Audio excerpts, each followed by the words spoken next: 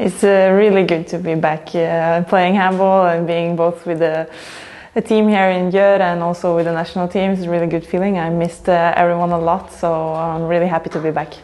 Yeah, Dunaújváros is a strong team, and uh, even though we won uh, with a, a, great number home, it's still always diff more difficult to play against them away. So uh, we have to prepare well and uh, put a really strong defense, and uh, I hope we will make a good win.